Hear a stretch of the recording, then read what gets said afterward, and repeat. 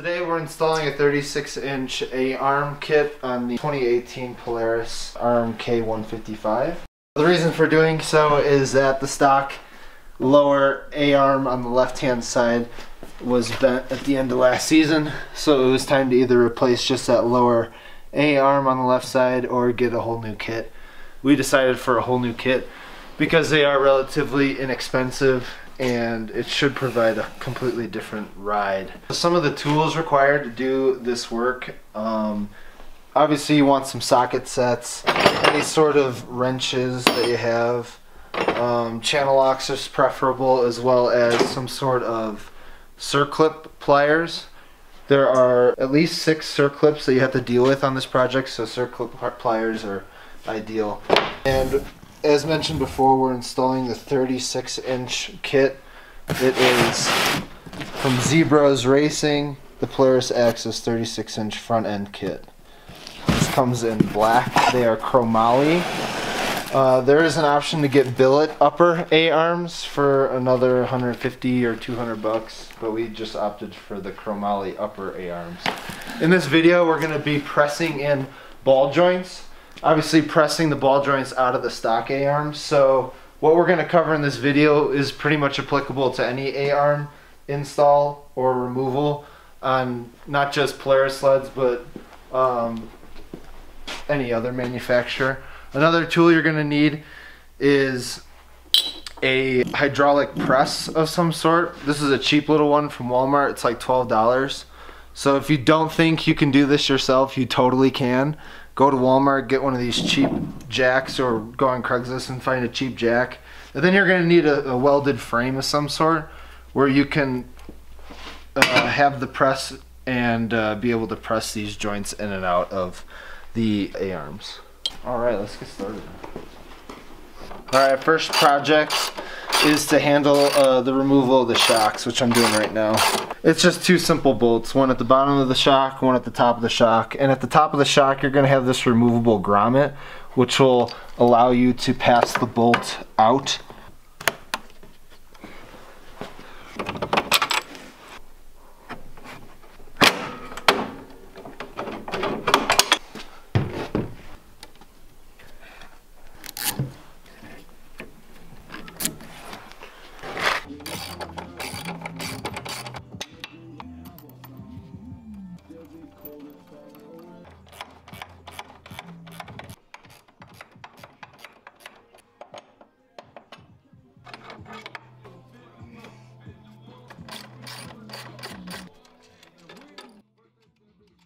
Alright, so we're removing all this sway bar hardware. Here it is.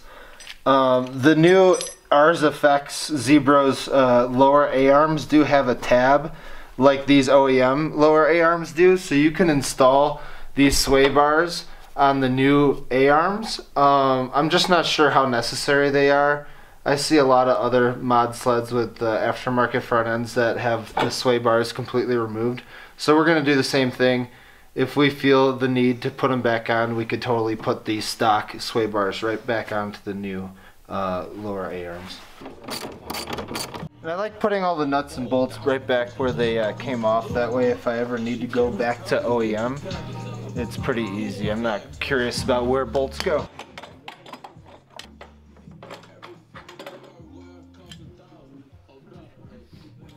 And there is the sway bar, fully removed.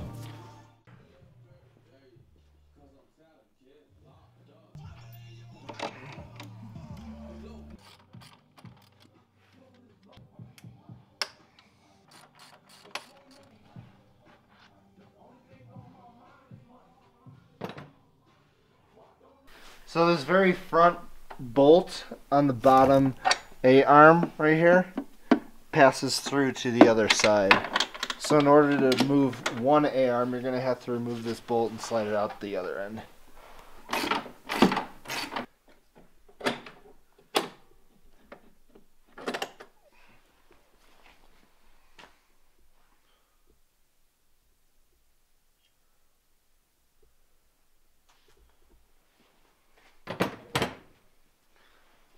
So what I like to do after you have removed the A-arms from the sled is to just grab your new A-arm um, with whichever one you want to start with.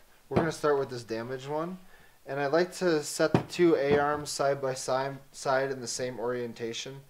Um, I know that this is the lower left. I put a sticker, which I recommend doing on all your your uh, the A-arms that you remove, just telling you where it belongs on the sled. Um, this is the front, so this faces the nose of the sled. I'm going to orient the new one in the same direction. The sticker goes towards the nose of the sled. And that way, when I remove this hardware um, from the old A arm, I know exactly where it goes in the new one. And it's important because they are not the same. This one is a little bit beefier and it's also at a slight angle. So that has to go into this front um, A-arm. If you do something wrong, you'll know when you try to install it on the sled. What we do is we're going to remove these circlips from the inside of each of these, sliding out the hardware, and then we're going to reuse these uh, beige bushings that are in here, and those are going to slide into the new A-arms. We're going to do that right now. Alright, there we go. I'm going to take the washer and all this hardware off and lay it where it belongs of here. I'm going to repeat the process on this.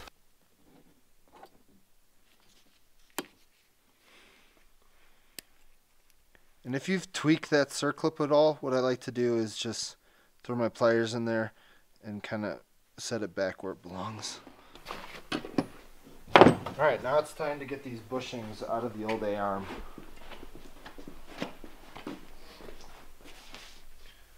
I'm using a 14 millimeter socket and I'm going to work on a hard surface that doesn't move. I'm to place that right in here. I'm to give it a few love taps. No need to be aggressive with this. Rubber mallet works great. And there's your bushing. It'll come right out. The way it goes back in is the washer end goes in from the outside. We'll repeat the process on this side. Those are our two bushings. And that's how they should look.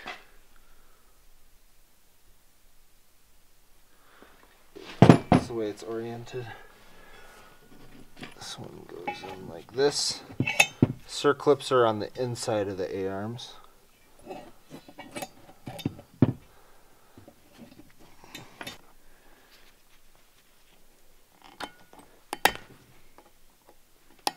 sure that is fully seated. And one way I like to check is hold the circlip in place and try to rotate. There we go. Now it's seated the circlip won't move or it can spin freely in that groove. So here's a little close-up of the bulkhead mount and the circlip. The circlip is going to seat in this little groove here. If it's not fully seated, this will come off while you're riding and potentially cause an issue. So yeah, I just like to make sure it's fully seated in that groove after I have uh, put installed it. So I install all the bushings and these bulkhead mounts first. Get those all done. They're all in the right orientation on each particular um, A-arm. And then now it's time to start pressing joints out and pressing them into the new A-arms. So there's two ways to buy this kit from most manufacturers that make aftermarket A-arms. Um, one way is the way we bought it without ball joints. The other way is to buy it with the ball joints already installed. If you buy it like we did without ball joints in your new A-arms, that means you have to press the old ball joints out of the OEM uh, A-arms and press them into the new ones. To do so, I just find the two A-arms that are the exact same ones. This is the lower left old one, this is the lower left new one. What you're going to do is remove another circlip here.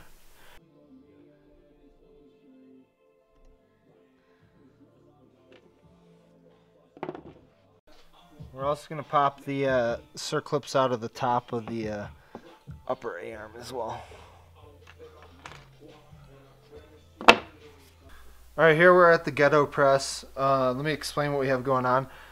This we're pressing this ball joint out of this upper A arm. We're pressing it out in this direction.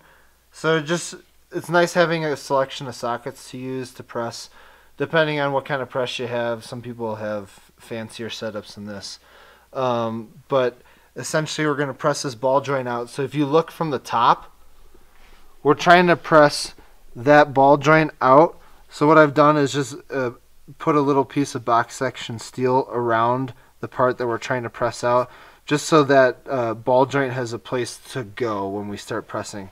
And I'm going to press it a little bit and you'll see it start to move.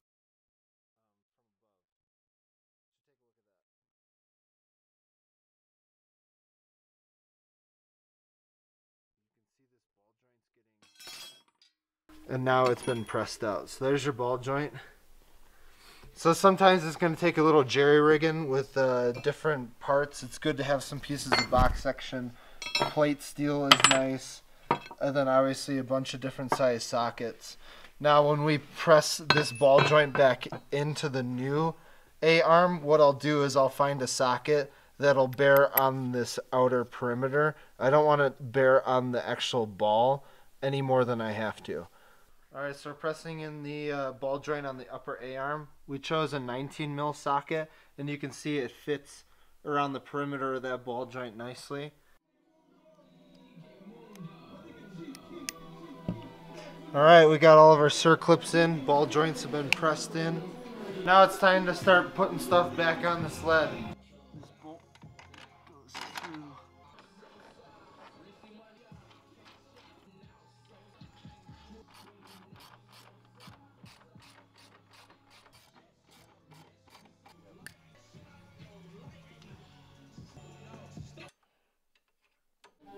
So Z-Broz also includes a cut template. It's included in the instructions.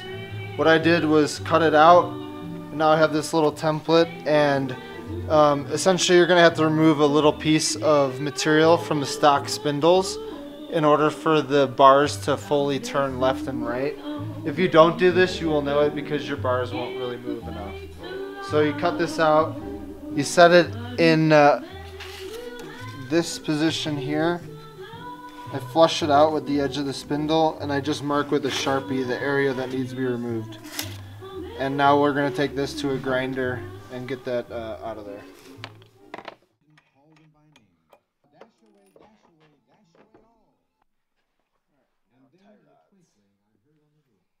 Alright, last step, we got the A-arms installed. Um, the spindles have been modified so they can have uh, full clearance and turning. Um, now, since we've uh, reduced our stance from 39 to 36, the kit does include new tie rods. So we're going to have to remove the existing tie rods and put these aftermarket tie rods on. Um, some tie rods will have left-hand thread and others will have right-hand thread. Uh, the way I find out is I literally just look at the thread and just visualize uh, when I'm spinning left, is that not going to move off or on? In this case, it's a normal uh, left-hand thread, so we're going to go lefty-loosey, break that off, and take this ball end out. This is going to go on our new tie rod. Now you're going to have to break the other end. I have an open-ended wrench down there. This is a 11 16ths. And you're going to put this on the opposite end. It's the same exact ball joint fitting. Uh, this is a lock nut on the inside as well. What you're going to do is get this wrench over that lock nut inside. And now it's the opposite direction. We're going righty-loosey instead of lefty-loosey. So this end was a left-hand thread, tr traditional. Inside is a right-hand thread. I'm going to take the new one, insert it in. And I'm spinning left to tighten. Alright, we're threaded on. Alright guys, we're on the left side of the sled and I highly recommend removing this rubber boot that houses the uh, tie rod. All it is is a couple push darts and uh, a couple Torx uh, screws that are going in here.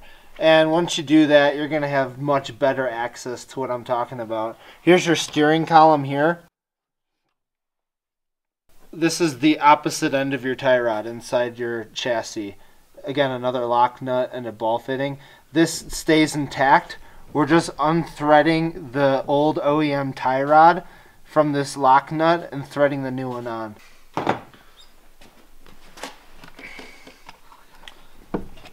Take this and I'm gonna spin the tie rod to the left to tighten it on. And I'm only gonna go uh, a few turns in just so it's biting fully on thread. And then I'm gonna attach it back onto the spindle. Once I attach this on the spindle, then it's time to adjust the steering. When I spin the uh, the tie rod in any direction, it's gonna start to adjust the the uh, the ski. So now's the time where I'm just gonna slowly adjust from side to side. Figure out the sweet spot. I recommend taking the sled off your lift um, and putting it on the ground on the snow. Um, that way, your the front end is under load or under proper load. Stand on the sled with the bars, wiggle them back and forth, look down the nose of the sled, and you're just gonna have to pretty much eyeball and figure out are the skis pointing left or are they pointing right. Once you get them so they're parallel with the sled and with the handlebars, then you can slowly adjust the the pitch whether they're they're towed in or towed out. Uh, thanks again for watching, guys. We got a lot more videos coming. I just went skiing. It just snowed four and a half feet this week. It's the first week in November 2018 in Colorado. We're super excited to get sledding this year. Thanks for watching.